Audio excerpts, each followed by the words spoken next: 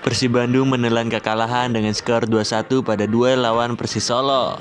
Sejatinya Pangeran Biru unggul lebih dulu lewat gol Kiro Alpes pada menit ke-32.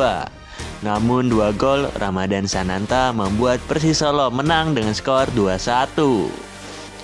Hasil ini membuat Persib Bandung kini berada di posisi ke-16 klasemen sementara. Mom Bandung baru mendapatkan 7 poin dari 7 laga yang dimainkan. Persib kini berada di zona degradasi. Kita ketahui Persib Bandung memang kurang beruntung saja di laga ini. Karena kalau dilihat banyak peluang tercipta bagi tim Pangeran Biru. Namun sayang, tidak bisa dimanfaatkan oleh pemain Persib lainnya.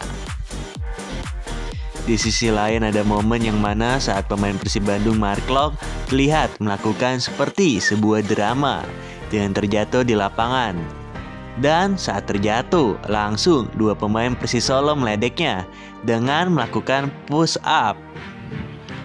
Hal tersebutlah yang membuat banyak netizen mempertanyakan Mark Lok kenapa sering membuat drama saat membela Persib Bandung.